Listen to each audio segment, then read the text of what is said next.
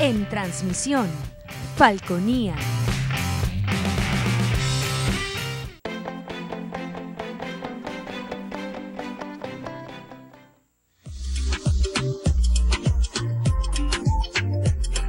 Este programa es de tipo recreativo y educativo, que contiene elementos de lenguaje, salud, sexo y violencia A.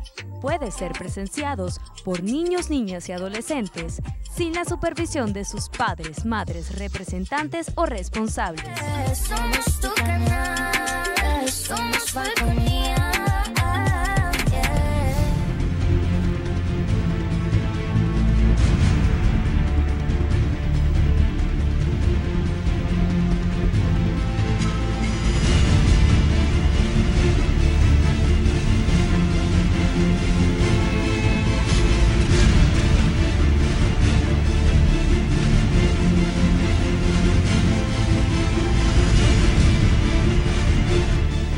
Muy buenas noches, queridos amigos y amigas. Bienvenidos a tu programa Diálogo Jurídico, por acá por Falconía Televisión. Te saluda tu amigo el doctor Harold Guerrero. Y bueno, nuevamente vamos a tocar un tema sumamente importante eh, que tiene que ver con el ardor político, pero adicional afecta directamente al ciudadano común, como lo es la Ley Orgánica de Coordinación y Armonización Tributaria Estadal y Municipal.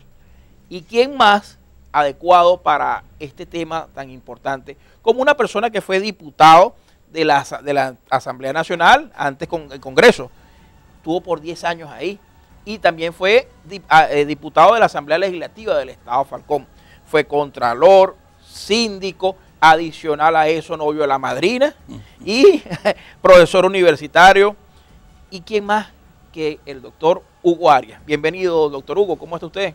Gracias, Harold. Muchas gracias por la invitación. Bueno, dispuesto a conversar sobre esos temas eh, que están en, la, en, la- en el día a día, ¿verdad?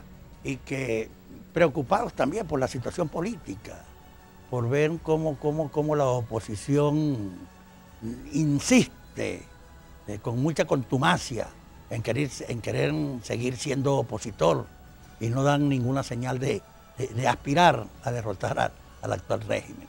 De tal manera que estamos dispuestos a responder todas las inquietudes y a conversar en lo que más le puede interesar a la comunidad que este Exacto, programa. estimado doctor Hugo. Bueno, como les planteaba hace rato, para poner en contexto a las personas que nos están viendo la, ta- la tarde o la noche de hoy, lunes, mira, hace escasos 15, 20 días fue aprobada en primera discusión el, pro- un proyecto de ley, que es el que, acabo de denominar hace rato. Se denomina Ley Orgánica de Coordinación y Armonización Tributaria Regional y Municipal, o de estados y de municipios. ¿Ok? Señores, un proyecto de ley que busca modificar la forma de recaudación de tributos, tanto regionales como a nivel municipal. ¿Ok? Unas competencias que, bueno, ahorita vamos a hablar sobre eso, eh, a ver si son legales, si son constitucionales o no.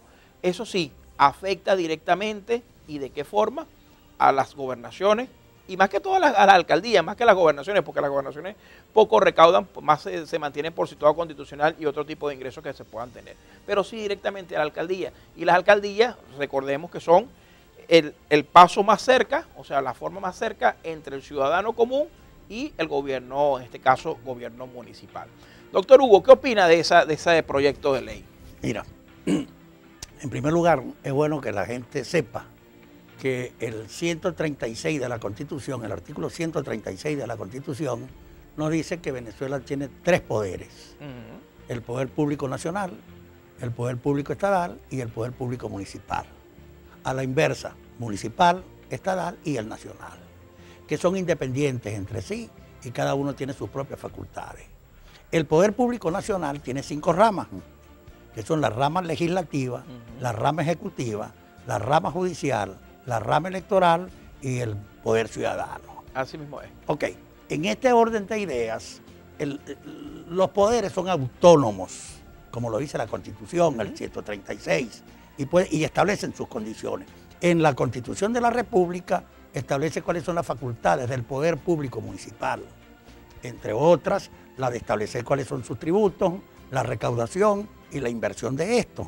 Así mismo. Mal puede ahora entonces salir el gobierno central a pretender aprobar por vía de una asamblea cuestionada una ley que venga a reglamentar, a, coordinar, a unificar el criterio en el manejo de los tributos que se establezcan en los municipios y la manera de la inversión, porque no, ese no es tema de discusión de la Asamblea Nacional, sino del Consejo Municipal, que es la rama legislativa de la alcaldía, la que va a establecer las ordenanzas bajo las cuales se van a regir los tributos que se- aquí se establezcan y la manera como se van a invertir.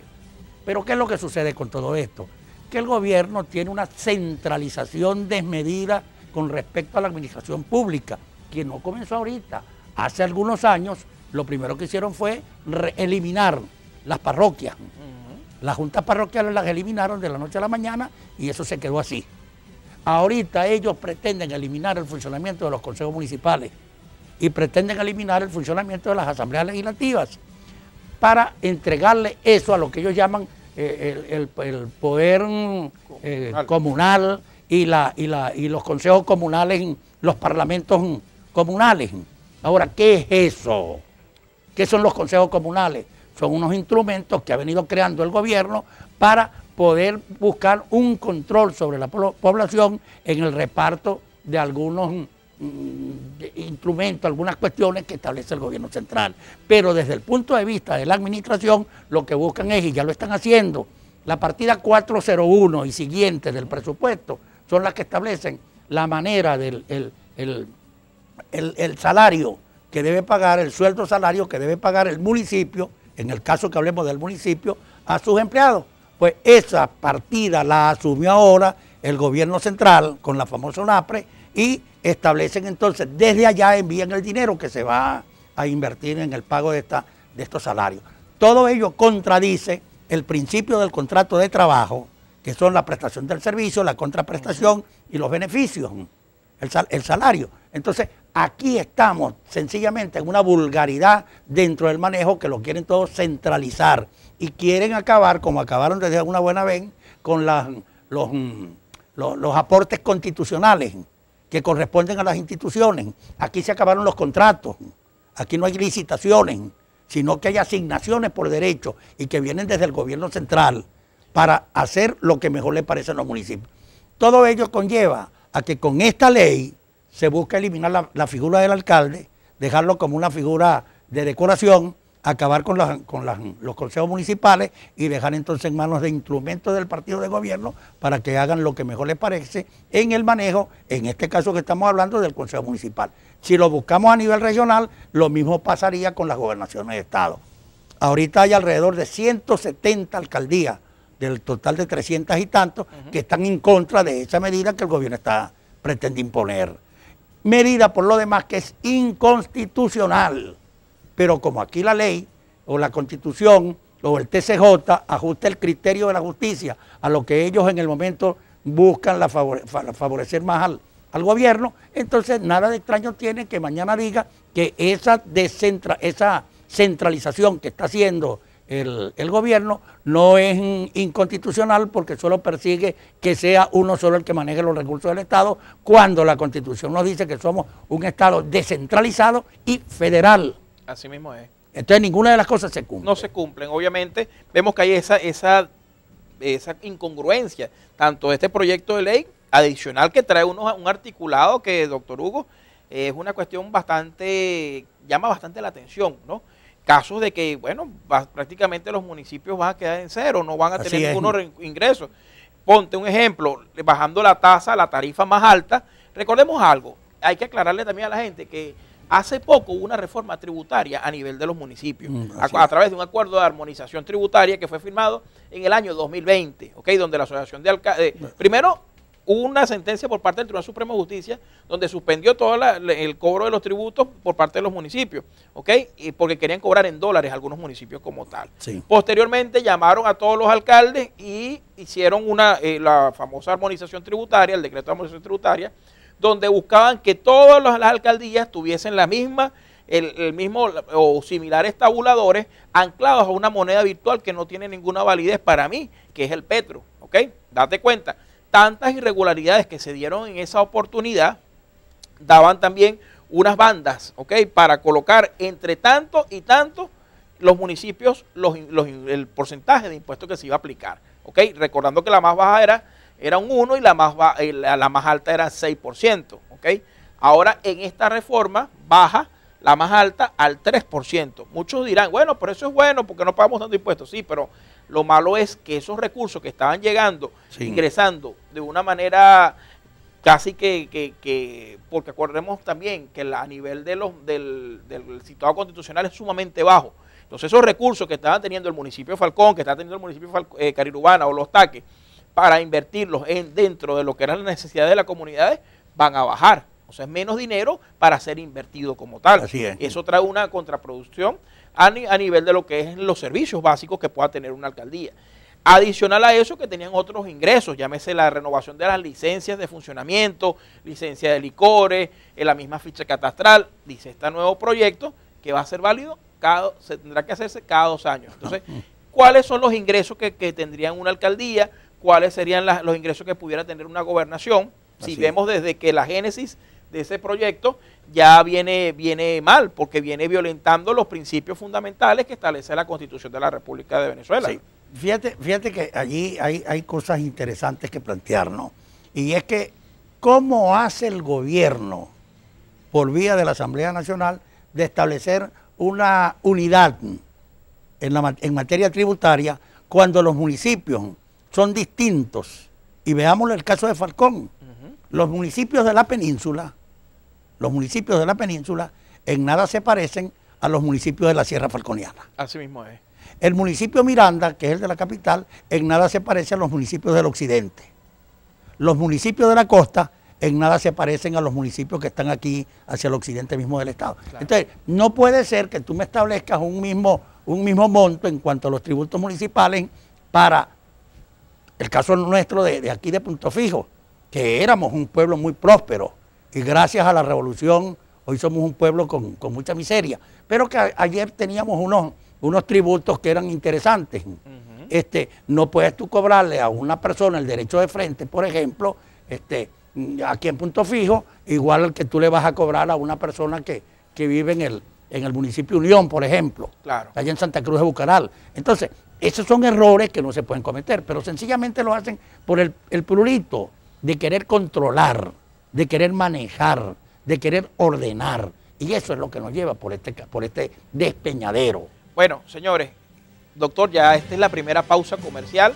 Ya saben, ya estamos en diálogo jurídico. Volvemos en unos pocos minutos. El tema sumamente interesante y polémico, que es interesante, es muy vital de que los ciudadanos conozcamos de esto, porque nadie nos va a quedar mentira cuando hay una ley que podemos leerla. Así es.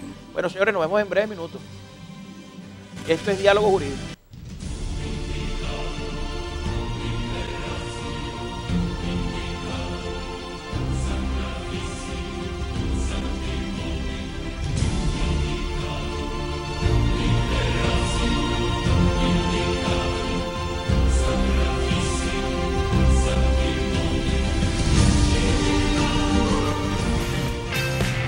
Transmisión, Falconía.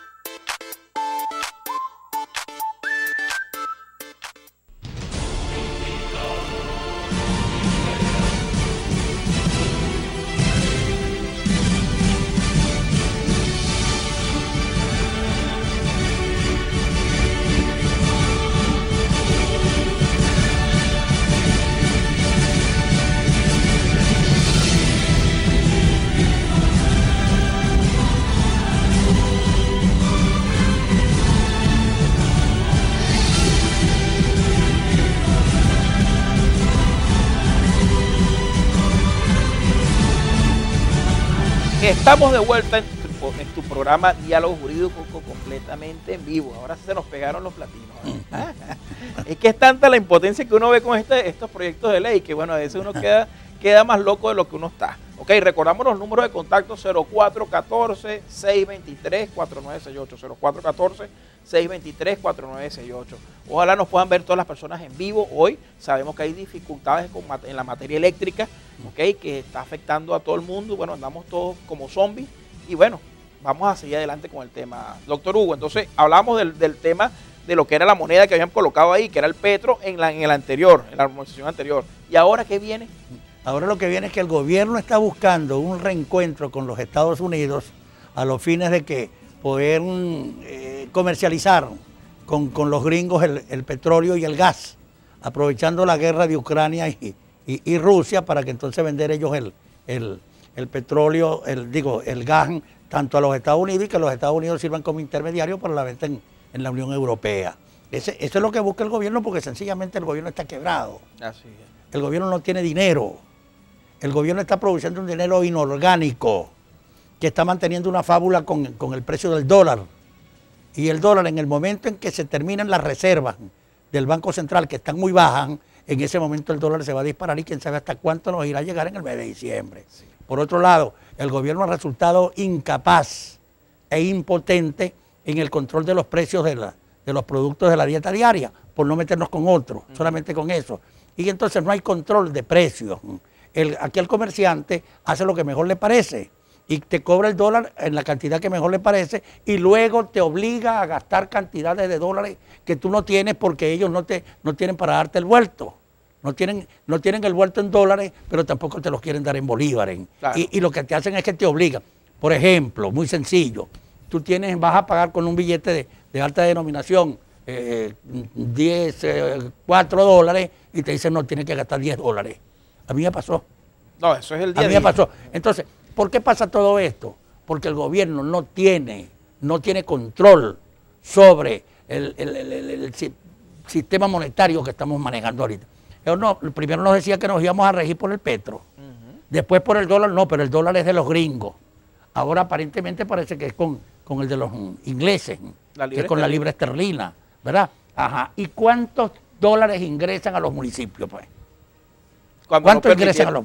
Y recuerda que no permitieron el uso del el cobro en dólares, por eso fue que la, sale la sentencia del, del A- 2020. Así es, así es. Entonces no te permiten el cobro, pero hay muchos alcaldes que te manejan los dólares y te los manejan. eh, Y eh, pa- paga- con y para pagar, pagas en dólares Sí. también. Entonces eso, eso está igual a que Venezuela se está recuperando. ¿Pero de qué se está recuperando? ¿De qué? Porque estás haciendo una fiesta. Yo no sé si toda la población asiste a la fiesta. El caso Adícora. ¿Cuántas personas pudo reunirse allí? Entonces, eso no, el gobierno tiene que comenzar a hablar con la verdad. El gobierno tiene que hablar con la verdad. Ah, pero la oposición tiene también que, que llenarse de valor y decir la verdad con respecto al gobierno. Y buscar el acuerdo que pueda ayudar a recuperar a Venezuela de la situación en que se encuentra. ¿Qué es necesario hablar con el gobierno? Por supuesto, y no es el adversario. Y si queremos entendernos para buscar una solución, ¿quiénes se van a sentar a hablar? ¿Los opositores con opositores? ¿O el gobierno con gobierno? El gobierno con opositores para buscar la solución que sea pertinente a lo que el pueblo está pidiendo, a lo que el pueblo necesita. Así mismo es. Eso, eso, es lo, eso es lo que nos indica ahorita. Mientras tanto, o como diría el poeta, mientras el palo va y viene, la situación de Venezuela se pone cada día peor. Y el gobierno no tiene en sus manos la solución. Mire, aquí hay un problema grave desde el punto de vista laboral. Y es que las empresas que están trabajando y prestando algún servicio a la industria petrolera tienen unas deudas gigantescas con, con sus trabajadores, porque la empresa petrolera no le paga al contratista para que éste le cancele al trabajador. Y entonces el trabajador corre el riesgo de que esas contratistas puedan declararse en quiebra y después van ellos a buscar una pelea, a cazar una pelea con la petrolera, con la, la- la- la matriz para que les cancele. Es un poco difícil. Claro. Lo otro, incurren en una, en una, en una posición de una simulación, que también es un delito, cuando te pago un salario, pero entonces te entrego unos dólares sin darte recibo para nada aquí. sin darte recibo para nada, te entrego unos dólares para que no queden huellas, olvidando la empresa que el que en materia laboral la carga de la prueba le corresponde a la empresa. Decir, por ejemplo, que yo como trabajador es mentira que recibo dólares. ¿Ok? Entonces, estos son, son problemas que han creado. Y a nivel, y a nivel de las alcaldías, eso también está sucediendo A con la ver. parte de lo que es el seguro social. ¿Cómo se está manejando eso por ahí? Como usted decía, hay una, una, la UNAPRE creó lo que era una partida específica, ¿verdad? Diciendo que ellos asumían los, los, los, salarios Sí. de los trabajadores de una alcaldía o de una gobernación. Ahora bien, ¿quién es el que el mayor deudor en materia de, de seguro social? Así es. ¿Ah? Y, y es que el, el Estado en el Seguro Social participa como un empleador, como un patrono. no, parti- no debe participar como Estado, sino como patrono y debería pagar. Claro, pues se lo Entonces, descuenta, de paso Porque se lo le descuenta al trabajador y entonces quien recibe el peor beneficio del Seguro Social es el trabajador. En el caso nuestro, de aquí, el Hospital del Seguro Social, que es el Calle Sierra, está siendo utilizado por el Estado para la atención pública general, pensando que es un hospital general de aquí. No, ese es privado, que corresponde a los trabajadores, a los empresarios y al Estado como, como protagonista. El, el- las pensiones, el Estado empieza a dictar medidas ordenando pensiones en el Seguro Social como si el Seguro Social fuese una dependencia de ellos. No, no es así. El Seguro Social es de los trabajadores que pagan y de los patronos. Y, la- y en el caso de las liquidaciones, ¿cómo hacen la- las, alcaldías y eso? Porque se supone que, que el que está tom- tomando, descontando, teniendo los días es la, es la UNAPRE, o en este caso el Ejecutivo Nacional. Así es. Entonces, ¿están obligadas las alcaldías a pagar esas, esas Mira, prestaciones? ese es un tema interesante que se, lo- se nos va a presentar muy pronto de quién es el patrón. ¿Quién es el patrón de los trabajadores de la alcaldía X cuando el salario lo paga es el, el- el Estado Nacional, es decir, la ONAPRE? Yo como ca- alcaldía no le pago al trabajador, sino que le- es de allá que le llega el dinero. ¿Por qué? Porque el gobierno este, eh, se apropió de esas partidas que corresponden en el presupuesto a cada una de las instituciones del Estado. Y se robó las partidas, la 401, 02, etcétera, hasta la 409, violando. ¿Y qué hace la Contraloría? Sencillamente no hace nada, porque no hay. Contraloría. No hay Contraloría municipal, no hay Contraloría estatal, no hay Contraloría nacional. ¿Y desde cuándo es eso? ¿Desde ahorita? No. Desde que estaba aquel señor que, que fue contralor, que peleó e hizo cambiar el criterio jurídico en el pago de las, de las pensiones de jubilaciones, cuando él reclamaba que le pagaran 800 bolívares. Aquel un Clodo- Clodosvaldo Rufián, Rufián. digo, perdón, Rusián.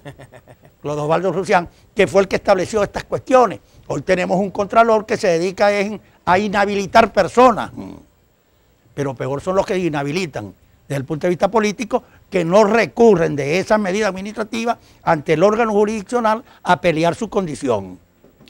Entonces vienen ahorita, en estos momentos, a pretender que por vía de gracia les levanten a muchos de ellos la inhabilitación para ser candidatos a, a- a la presidencia de la República por la oposición.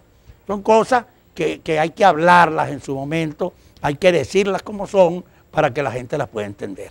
Bueno, yo creo que estamos cerca del, del segundo corte. Amigo Hugo, antes que nos manden de una vez para que nos corten, porque a veces estamos emocionados y nos cortan de una. Entonces, bueno, vamos a hacer el corte comercial. Ya venimos ya, recuerden estos diálogos jurídicos, escribe al 0414-623-4968. Nuestro invitado, el doctor Hugo Arias.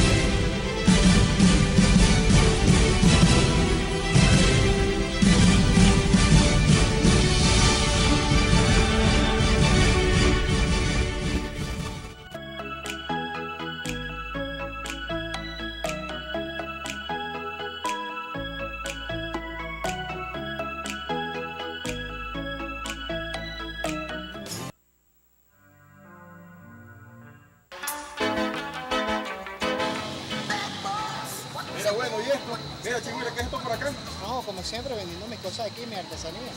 Tú no sabes que tú necesitas permiso para poder tener este tipo de establecimiento. Yo tengo todo mi permiso en regla. Pero bueno, chicos, tú no entiendes que esta zona por acá es insegura, que tú necesitas protección, es lo que te quiero decir. ¿Usted me está pidiendo real, señor oficial? No entiendes, hay que darle la colaboración.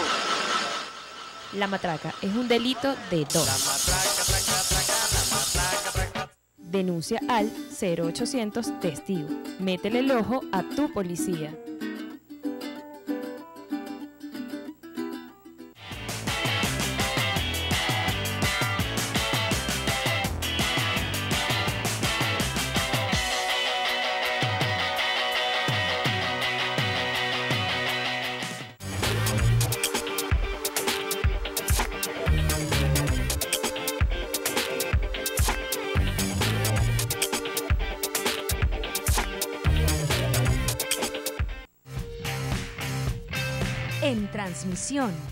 Falconía.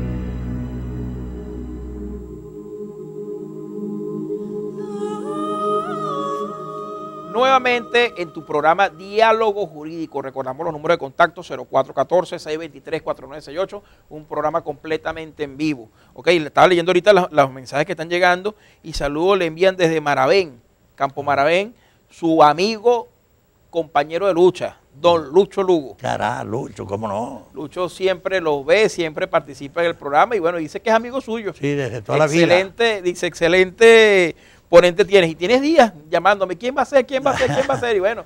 Amigo eh, desde el Liceo Talavera. Bueno, El imagínate. De Talavera hacen todos los años del mundo. Son a- más que amigos ya. Sí, Ah, cómo y no. unos, unos, unos cuantos soles y unas cuantas lunas ahí. Sí, señor. Sí. Ah, bueno, entonces, eh, ¿sabes qué me llamó la atención, no? Hace rato, ok, estamos hablando de, un- de, un- de una, una organización, básicamente, que es lo que es la ONAPRE, ok, que es la Oficina Nacional de Presupuesto. Muy polémica, de paso, hace días fue, eh, fue destituido el presidente que estaba dirigiéndola o el director que, que lo tenía y colocaron otra persona. Y hemos visto varias protestas a nivel de lo que es la, la localidad y a nivel nacional por el famoso instructivo ONAPRE. ¿Tiene conocimiento de eso, doctor? ¿Qué, a qué- ¿Cómo es eso? Expliquémosle a la gente que nos está viendo para que entienda que es... Oficina Nacional de Presupuesto. Designada, me imagino, por el ministerio respectivo o por el presidente de la República. ¿Cuál es el ámbito de su competencia? La materia administrativa a nivel nacional. Ya que los estados y los municipios tienen su independencia en el manejo de su presupuesto. Los municipios discuten su presupuesto, lo aprueba el Consejo Municipal, entra en vigencia, el alcalde verá de qué manera se, se rige durante ese año que tenga, que tenga la actividad presupuestaria y no permite la ley que intervenga un poder nacional con respecto a los poderes municipales. Bueno, eso es lo que dice la ley. Es el deber ¿verdad? ser. Es el deber ser, que el poder municipal es autónomo, el poder estatal es aut- autónomo y, y el poder nacional. Pero aquí eso se acabó. Aquí la- la- el poder nacional entonces decide tomar por asalto la administración de los municipios y de los estados y crea la Oficina Nacional de Presupuesto. La Oficina Nacional de Presupuesto, cuando la crean, establece algunas condiciones que ahora no sabemos si existen o no existen, y procede a dictar unos instrumentos que lo que hizo fue que se ganó la animadversión de la gente y ya la- el ciudadano no cree en la UNAPRE. Por ejemplo, los ciudadanos que están jubilados en la administración pública estatal, municipal o nacional, ahora que antes cobraban cada 15 días la- la- la- la- lo poco que es la pensión, hoy tienen que esperar 30 días de un mes para poder cobrar su, su Que pensión. con eso medio compran alimentos. Así es, Y que medicinas que de repente no pueden... eh, compran cuatro, cuatro pastillas para la atención y compran tres panes para comer durante un mes y una, y una bolsa de arroz. Y, y ligando que los hijos que están afuera les meten bien algo. Así es. Entonces, la ONAPRE hace esto. Cuando el gobierno ve, observa que le salió el tiro por la culata, lo primero que hacen es que destituyen al presidente de la ONAPRE. Pero no era que debían destituirlo. Ese señor cometió delito. O por lo menos que la Fiscalía del Ministerio Público hubiese intervenido para establecer las responsabilidades que hubiese incurrido el señor presidente de la UNAPRE. ¿Por qué? Porque cuando los afectados concurren ante el TSJ e introducen, si hacen una solicitud, el TSJ termina diciendo que esto no existe, que la UNAPRE no existe. Después que lo admitieron. Después que lo admitieron, y que la UNAPRE no existe, y no existe el registro en, la- en- en la Gaceta, no existe el Entonces, ¿cómo es eso? ¿Y es que la administración pública puede hacerse de esa manera? No. Para eso hay una Contraloría. Y la Contraloría debería intervenir junto con la Fiscalía del Ministerio Público y aclararle a las personas que han resultado afectadas de manera vulgar con, esta, con este funcionamiento, como son los educadores, particularmente los educadores, sobre el caso ONAPRE. ¿Qué se ha hecho? No es posible entonces que el TSJ salga con una decisión multando a quienes hicieron la protesta, que introdujeron eh, eh, una demanda para hacer valer el derecho que ellos consideraban. Cuatro universidades, si no me equivoco, Cuatro o cinco universidades. Cuatro o cinco, sí, entonces les aplican una sanción. Lo que hace pensar entonces que el ciudadano común, el ciudadano de a pie, va a tener miedo mañana de recurrir a un tribunal, a hacer una, una solicitud para, para que se reconozca su derecho, corriendo el riesgo de que el tribunal falle este, en contra y le aplique una multa de paso. No, Y que de paso yo, yo no sé por qué, si, si no existían las condiciones, porque fue admitido, porque el TCJ para emitir algo tiene que, que- que por lo menos estar claro en ese punto. Así es. ¿no? Pero, pero, pero usted como, como abogado, como colega, con muchos años de experiencia, sabe que si algo está marchando de manera irregular en este país, es, es el derecho. Existen las leyes, existe el derecho. Lo que pasa es que hay muchas personas encargadas de la administración de justicia que hacen unas interpretaciones muy erradas, de manera consecutiva, casi permanente, de lo que efectivamente quería decir la ley. Este, y entonces hace que el derecho del ciudadano esté sujeto al criterio, muchas veces al criterio político del, del- del- del personaje que le toca conocer del caso que se reclama. Eh, caso de un trabajador que vaya a reclamar unas prestaciones sociales, corre el riesgo de que digan que él no debe la pre- no, no tiene derecho a las prestaciones, sino que él tiene que pagarle. Tiene que pagar a- usted a la por ahí usted. Así es, que tiene que pagarle a la empresa porque la empresa le hizo el favor de tenerlo un tiempo trabajando. Son, son las cosas, ¿no? Que muchas veces incurrimos los abogados en un error y decimos que no hay Estado de Derecho. No, el Estado de Derecho existe. Lo que no- Lo que no existe son los buenos administradores Así mismo de la justicia para que el, el Estado de Derecho lo podamos tener todos los, todos los venezolanos. No es posible que la gente de la oposición sea la que más sufre con respecto a, las- a las decisiones que espera. Es decir, el tiempo que pasa para que salga la decisión, este, mm, los retrasos, eh, estas cosas. Y no me quiero meter, porque no lo manejo, el derecho penal. Ese- esa es otra etapa del derecho. Pero que esto que estoy diciendo aquí es válido también para quienes manejan el derecho penal. Y hay una, una violación sistemática de los derechos humanos de los, de los pensionados. Ah, no, este permanentemente. caso, porque no- el solo hecho de la pensión que recibe el pensionado, el que la persona que la recibe no es porque se la dieron. Se la ganó. En el caso del Seguro Social, porque la persona que tiene la pensión del Seguro Social es porque pagó 750 semanas de cotización al Seguro Social. Y luego nace el derecho a recibir una pensión. ¿Y cuánto cobra? Cobra 130 bolívares. ¿Cuántos dólares es eso? Estamos hablando de 15 dólares Y aproximadamente. menos, y menos diario. Y con esos 15 dólares que le van a pagar cada mes, ¿usted cree, señor presidente, señor gobernador, que esa persona come, vive, se alimenta y goza de buena salud cobrando 15 dólares mensuales con una pensión del Seguro Social? ¿Por qué no agarramos el criterio jurídico del- de, aquel señor Rodríguez, Isaías Rodríguez, con respecto a la jubilación? Que decía que la jubilación no es para que la persona, después que la recibe, empiece a pasar trabajo por lo, por, por lo poco que cobra. Que la jubilación tiene que adaptarse cada vez que surgen nuevos salarios a ese salario, a ese salario, cobrar igual con respecto al cargo que estaba, que estaba desempeñando. Es decir, si yo me jubilo eh, eh, en un momento determinado y mi salario era de 100 bolívares, pero ahorita ya ese salario es de mil bolívares, a mí tienen que pagarme en razón a los mil bolívares. Ah, y lo ajustando, dice una sentencia que es jurisprudencia del doctor Isaías Rodríguez sobre el materia de la, de las jubilaciones. Es cuestión de buscarla, es cuestión de buscarla. y que bueno que se hagan los respectivos reclamos. En este caso yo estuve observando que eh, días atrás estaban protestando en varias, eh, tanto los profesores universitarios, los docentes universitarios, como lo que era la, los jubilados del Seguro Social. ¿Usted cree que se está llevando de una buena o de una manera efectiva esos reclamos ante, ante el órgano Mire. nacional? Una de las cuestiones que hay que observar es que el gobierno, cuando empezó su administración, le dio por acabar con los sindicatos y fue eliminándolos, apoderándose de las cotizaciones, de las casas sindicales, de los, los sitios donde funcionaban los sindicatos, el desconocimiento al reclamo que formulaba el sindicalista. Luego creó una figura de sindicalistas que son afectos al gobierno, que no reclaman sino que reciben condiciones. Y esto trajo como consecuencia el atraso en las discusiones de las convenciones colectivas. Y aquí no se discute la convención colectiva, sino que se presentan la petición estos sindicalistas afectos al gobierno y luego el señor presidente de la República dicta un decreto diciendo cuál es la, la convención colectiva. Hace falta entonces que se reactiven los sindicatos y reactivan los sindicatos precisamente para que se canalicen por el camino correcto los reclamos que deben formularse tanto en el Seguro Social para que atienda a la clase trabajadora y a los jubilados que fueron los que pagaron y pagan por la existencia de la institución para tener que, sean recibidos cuando van a recurrir por la asistencia médica que, que les corresponde.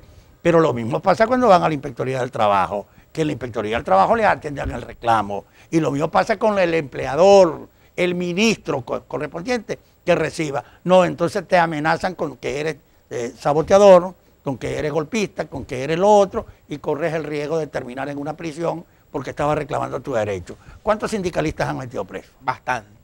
Bueno, vamos a, una, a otro bloque de publicidad. Amigo Hugo, ya venimos. Recuerden, esto es Diálogo Jurídico, número de contacto 0414-623-4968, para que puedan hacer sus llamadas, para que puedan hacer sus, enviar sus mensajes y aclarar las dudas que se tengan. Nos vemos, esto es Diálogo Jurídico, ya venimos.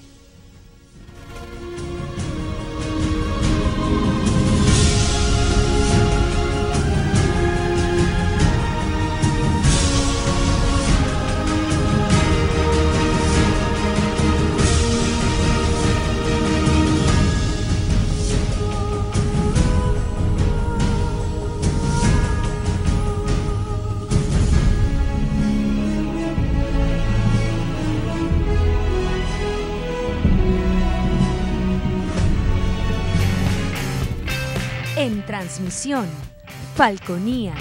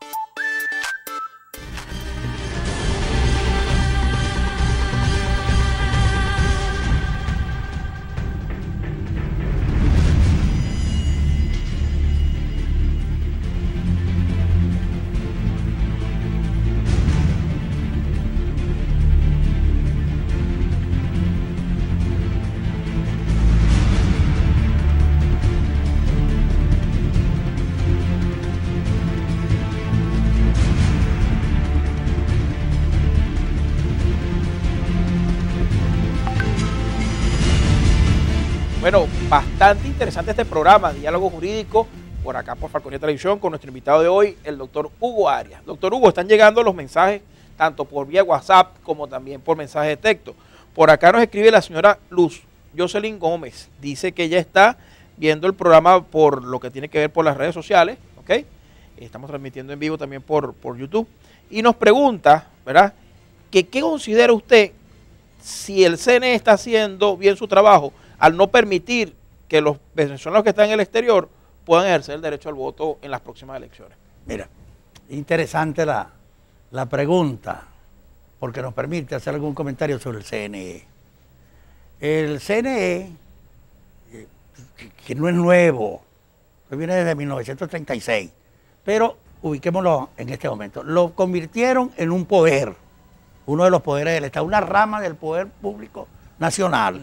A mi juicio pienso que nunca debió haberse convertido, igual que la Fiscalía, en un poder, sino que tenían que ser, tenían que estar allá abajo con su eh, eh, una organización administrativa, independiente, etcétera, etcétera, con sus recursos, etcétera, etcétera. Tres funciones tiene el CNE. Uno, el registro civil. Dos, el registro electoral. Y tres, el proceso electoral. En el registro civil, ¿está cumpliendo el CNE con esto? No lo cumple. ¿Por qué no cumple? Porque cuando una persona fallece, debería reportarse como fallecido de inmediato a, la- a la- a la- a los programas del, del Seguro Social para que se suspenda el pago de las pensiones que le corresponden. a esta- Hay personas que han fallecido y los herederos, los hijos, los hermanos, los nietos, empiezan a cobrar y a cobrar. Cuando van a solicitar a legalizar la, la situación, entonces se encuentran con que les pretenden cobrar el dinero, regresar el dinero que ya ellos habían, habían cobrado. ¿verdad? Aquí, ¿de quién es la falla? Del CNE. ¿Cuántos muertos han sido excluidos del registro electoral permanente? Muy poco. Y esa es materia de ellos. ¿Cuántos se han inscrito en el registro electoral en este momento? Muy poco. Días atrás había una, una protesta, creo que era, por varios jóvenes de una organización eh, partidista que estaban reclamando a la gente del CNE que, que tenía que abrir el registro, que ellos querían inscribirse para futuras elecciones que pudieran Sí. existir. Y lo otro, el tema interesante. Los que están en el extranjero tienen derecho al voto. Al voto para la presidencia de la República. Pero ¿y cómo hacemos para que ellos voten? ¿Quién tiene el registro y la ubicación con las residencias de los que están en el extranjero? ¿La tiene el CNE? ¿La tienen los partidos políticos? ¿La tiene el gobierno? Nadie los tiene. ¿Cuántos venezolanos han salido por la puerta de salida de este país para irse a residenciar al extranjero? ¿Lo tiene el CNE? Tampoco lo tiene. Para saber cuántos quedamos para ejercer el derecho al voto en este momento aquí en Venezuela. No es una materia sencilla decir que los que están en el extranjero tienen derecho al voto. Sí, tienen derecho al voto, pero podrán votar en estas elecciones. Si no se empieza a trabajar desde ahorita, no podrán votar en estas elecciones. ¿Por qué? Porque el CNE tiene, lo primero que tiene que hacer es reglamentar el procedimiento para que la gente pueda votar en el extranjero. Hay que registrarse en el consulado más cercano del país donde están residenciados o cuál es la cuál es la lo, que le requiere. Necesita tener la residencia ya o puede ser transeúnte. ¿En qué condiciones está él en el país donde está, eh, está viviendo? ¿Cómo haces tú para que voten esos venezolanos que están en países con los cuales Venezuela no tiene, no tiene relaciones? Por ejemplo, digo Venezuela en este caso me estoy refiriendo al, al gobierno que tiene el poder, no al otro gobierno, al gobierno que tiene el poder. ¿Cómo hacen los que viven en, en Norteamérica? Por ejemplo, para votar. Si no tenemos, no tenemos embajada, no tenemos consulado, donde pueda llegar el registro electoral y donde esté el Consejo Nacional Electoral que tiene que intervenir en, en esa materia. Entonces, ese es uno de los problemas que tenemos allí. ¿Cómo quedamos con el caso de Colombia? Están registrados los 3, 4 millones de venezolanos que están viviendo en Colombia, tienen su residencia y aparecen así registrados en el CNE. Son muy pocos. Son muy pocos. Entonces decir que tienen derecho al voto, sí tienen derecho al voto, pero los partidos políticos tienen el control de esa cantidad de personas que están en el extranjero, de esos venezolanos. O el gobierno lo tiene, o lo tiene el CNE. ¿Quién lo tiene? Es ¿Quién lo tiene? la- entonces la organización, en este caso de las personas que están en el exterior, Claro. unirse y poder enviar y vaciar las datas que Claro, tener. y ¿no? los Pero, partidos políticos interesados en el voto del- en el extranjero, ya sea gente del gobierno, ya sea gente de la oposición, empezar a organizar los cuadros que tiene en el país, en la ciudad donde sea, para saber con qué vas a contar. Estamos hablando de 6, 7 millones de venezolanos que están metidos en, en América eh, del Sur, en, Norteamérica, en Europa. ¿Cómo hacemos con ese voto? ¿Cuánto tiempo dura la votación? Pod- ¿Podrán ellos votar por, por internet? ¿Podrán votar por correo? ¿Será un solo día para que ellos voten? ¿Cuándo nos llega el resultado de la votación de ellos? Es decir, no es una materia sencilla, no es una materia fácil, es una materia difícil. Y los que están interesados en que los venezolanos voten, que somos todos los venezolanos, este, debemos procurar que los familiares que tenemos en el extranjero estén registrados en el consulado respectivo a los fines de que cuando ello suceda tengan la facilidad con su residencia allí. Pero una persona que sale por los caminos verdes, que no tiene residencia, que no tiene pasaporte, que, en fin, se, se fue de aquí fuera de la ley, yo no sé cómo hará para que tenga derecho al voto. Así mismo es. Ahora, lo otro es que todos ellos es posible que aparezcan registrados aquí en Venezuela. Entonces van a venir a votar eh, N cantidad aquí en Punto Fijo, en la escuela industrial, por decir una- un centro de votación, y resulta que de los que están inscritos allí hay no sé cuántos que están en el extranjero. regula eso? ¿Quién filtra abstención, no, abstención no hay. Sencillamente que son venezolanos que no están aquí en Venezuela. Así mismo es. Bueno, por ahí también lo felicitan. Eh, excelente programa. Hay unos exalumnos de ustedes de acá de, Ajá. del Sucre, fue que dio clase. Sucre, sí. Ah, ok, Claudia Álvarez, le saludo por ahí. Quiero también felicitar, dice por acá, a Robert Arnáez. Ah, Robert Arnáez, un primo, casualmente está cumpliendo año hoy. Robert, eh, feliz cumpleaños y millones de bendiciones para ti en tu día. Eh, Hugo, si tuviéramos algo con qué cerrar, ¿qué le diríamos a la gente que nos está viendo hoy?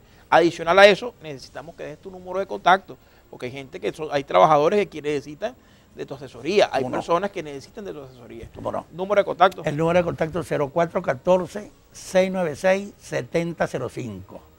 La oficina, la oficina 215 en el segundo piso del Centro Comercial Bambenés, más cercano, donde está el conocido banco este en la calle Comercio con esquina. Dígalo, diga, diga el nombre, diga el. Banco Venezuela, en el segundo piso de ese edificio, ahí está la oficina nuestra de abogados.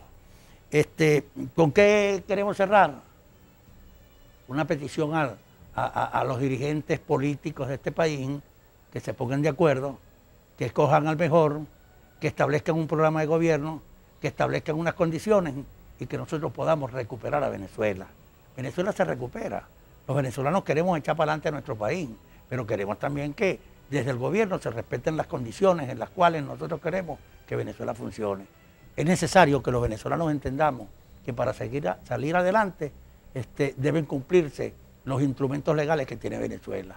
Pero al mismo tiempo, el gobierno que venga a sustituir por parte de la oposición a este gobierno debe comenzar por revisar aquellas 150 leyes que el difunto aprobó en un día con un récord mundial. Hay que revisarlas para ver si de verdad esas leyes están, están bien, bien instrumentadas, si se deben cumplir o se deben derogar.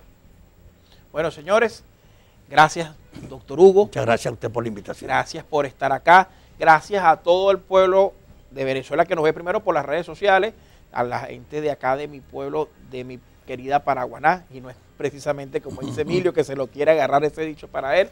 De verdad, bueno, bendiciones para todos. Esto fue Diálogo Jurídico. Nos vemos la próxima semana. Recuerden, estamos en YouTube también. Eh, la dirección es Diálogo Jurídico. Pueden ver los programas, eh, se transmiten en vivo. También van a estar las, réplicas ahí.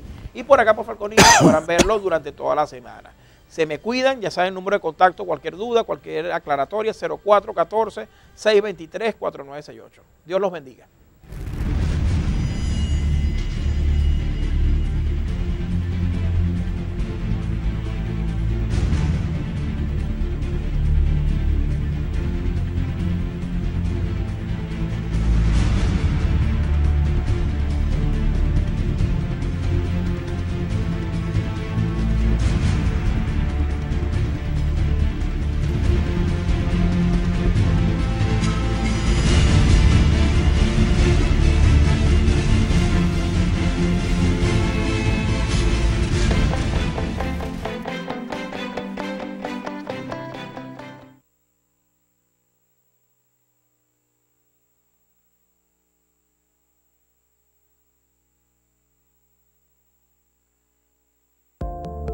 Nueva forma de ver televisión llegó a los hogares de toda Venezuela. FTA, la nueva señal libre en el aire.